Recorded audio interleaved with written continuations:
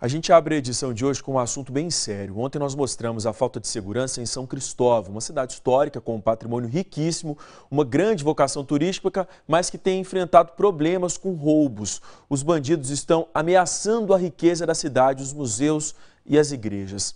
Hoje nós vamos a outra cidade histórica que também tem um patrimônio muito rico e que, da mesma forma que São Cristóvão, também enfrenta problemas com a falta de segurança. Por lá, essa também é uma queixa constante. Além dos moradores, os estudantes do campus da Universidade Federal de Sergipe reclamam contra a situação. Maristela Nis está na cidade, vai trazer hoje as informações para a gente, né Mari? Muito bom dia para você. Isso, líder Van, bom dia, bom dia a todos. Olha, nós já estamos acompanhando a primeira movimentação aí nas primeiras horas da manhã aqui na cidade de Laranjeiras. Chegamos aqui bem cedinho, já estamos aqui em frente ao campus da Universidade Federal de Sergipe, aqui no município, que tem as aulas suspensas desde maio do ano passado. Isso as aulas no período noturno. O estudante que estudava à noite, né, que tinha o curso a fim de concluir, teve as aulas remanejadas ou para o período da manhã ou em então está no campus em São Cristóvão. Quer dizer, uma situação bem complicada. O estudante aqui da cidade está tendo que se deslocar, está tendo mais custo. Então, ainda nesta edição, a gente vai destacar este problema da falta de segurança aqui no município. Eu ainda vou conversar com o vice-reitor da Universidade Federal de Sergipe. É daqui a pouco, líder Van. Tá certo, Mário, eu volto a te chamar então já já. Bom, nós vamos voltar a falar agora sobre a suspensão das aulas noturnas do campus de Laranjeiras do FS, que começou em maio do ano passado e essa suspensão continua até hoje. Maricela Nis está agora com o vice-reitor André Maurício, vai explicar para a gente, né, Mário? Até também se a gente saber se tem alguma previsão de volta dessas aulas. Isso, líder Van. Estou aqui com o vice-reitor da Universidade Federal de Sergipe, André Maurício. Acordou cedinho aqui para poder conversar com a gente aqui no Bom Dia Sergipe sobre essa situação, né? Na verdade, um transtorno para os estudantes. Um curso inteiro, ele estava me contando, que foi transferido para o campus em São Cristóvão. É o curso de teatro que já não existe mais aqui em Laranjeiras, ou seja, uma cidade que respira cultura, acabou perdendo um curso tão fundamental, não é isso? Bom dia. Ah, muito bom dia, exatamente. É, nós temos os campos aqui desde 2007. É, desde então tivemos vários problemas com relação à segurança, culminando com o ano passado, com a transferência então desses cursos provisoriamente para a, a sede de São Cristóvão durante o segundo semestre, então ficou decidido que não mais é uma transferência provisória, mas sem dúvida é uma transferência agora que não tem mais volta. Não teremos mais cursos noturnos aqui eh, na cidade de Laranjeiras, infelizmente. Eu cheguei inclusive a gravar reportagens aqui no período da noite, enquanto ainda tinha aula, e os estudantes reclamando muito que foram vítimas de assaltos, relatando o que já aconteceu aqui. É, exatamente. Houve um, um, um, clima de insegurança que ficou inviável os cursos noturnos. Claro, ainda existe um clima de insegurança, nós transferimos um dos cursos para o período diurno, é, o, infelizmente, o outro curso, os professores e estudantes decidiram ir para São Cristóvão, para Caju. É, é, isso, desde 2007, problemas graves é, de assaltos, de, de, de, do próximo transporte, falta de transporte também temos tido grandes problemas. E fica inviável, né? Uma estrutura de uma universidade, é, a gente quer muito estar em Laranjeiras, mas não tem uma condição de ter um curso noturno. Claro, isso é ruim, porque o trabalhador, o principal do trabalhador é fazer o curso, seu curso noturno, é trabalhar durante o dia, poder ter a perspectiva de fazer o curso noturno, mas infelizmente é, é, casos que estão fora da, da, casos que poderiam ter sido resolvidos, né? Claro, difícil, estruturais da nossa cidade de Laranjeiras, a gente vai ter que abandonar os cursos noturnos aqui nessa cidade.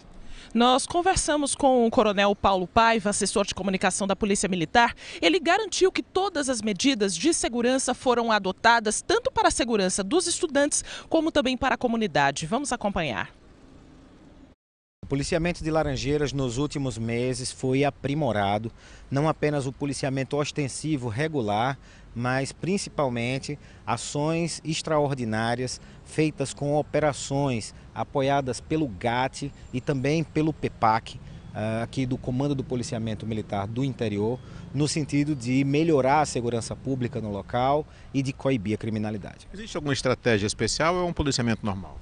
Olha, nós inclusive, é, com a chegada desses 657 novos policiais, dobramos o efetivo do chamado eh, GAT, o Grupo de Ações Táticas do Interior, que atua diretamente na área de Laranjeiras, e também colocamos seis duplas a mais na área da terceira companhia do segundo batalhão, que faz, é responsável pelo policiamento lá naquela cidade. O senhor já começou, a polícia como um todo já começou a perceber algum resultado?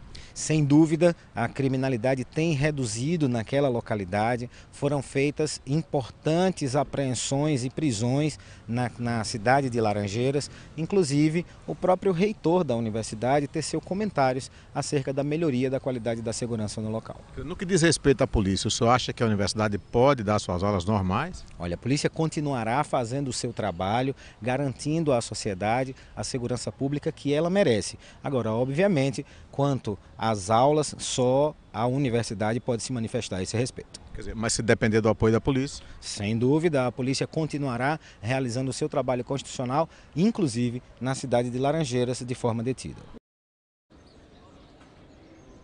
Então nós acompanhamos aí a entrevista com o Coronel Paulo Paiva. Essas medidas de segurança adotadas pela polícia já estão mesmo surtindo efeito aqui na cidade? Veja, é, essas medidas demoram um pouco de surtir efeito e principalmente o que a gente precisa, os, que os estudantes sintam esse efeito. Né? Então, quando um estudante está numa sala de aula, vem para Laranjeiras, existe a, aquele, aquela sensação de insegurança. Isso faz com que o estudante não, não consiga estudar. Nós perdemos vários estudantes, é, estudantes que vêm de outros estados, estudantes do próprio Aracaju, estudando aqui durante o, o curso noturno, perdemos exatamente pela, pela, por essa sensação de insegurança, claro, por, até mesmo por um histórico que já, já, já tínhamos. Então nós não podemos começar aulas noturnas neste momento. Vamos estudar, vamos ver durante o ano de 2015, se é possível, por exemplo, em 2006 voltarmos aos cursos. Mas neste momento não há uma sensação de paz para os nossos estudantes é, poderem estudar aqui. Apesar de ter tido realmente é, o apoio da prefeitura, um aumento de guardas municipais, um aumento da, da, da segurança do Estado também, da, da PM aqui. Não podemos muitas repúblicas já não existem mais. Exatamente. Nós tínhamos aqui é, cerca de 10 repúblicas aqui na, na, cidade de Laranjeiras e infelizmente tivemos que transferir todas para Aracaju. Então hoje a, as 10 repúblicas que tínhamos aqui eh, foram todas transferidas para Aracaju também, eh, justamente em função de problemas de segurança, que é de assaltos, de, de roubos nessas repúblicas que tínhamos aqui em Laranjeiras. Muito obrigada pelas informações, vice-reitor. Um bom dia para o senhor. Líder Van? É, e a gente fica na expectativa para que, de fato, essa situação, tanto quanto em São Cristóvão, em Laranjeiras, também se resolva, né, Mário? Vice-reitor, obrigado pela participação aqui no Bom Dia Sergipe.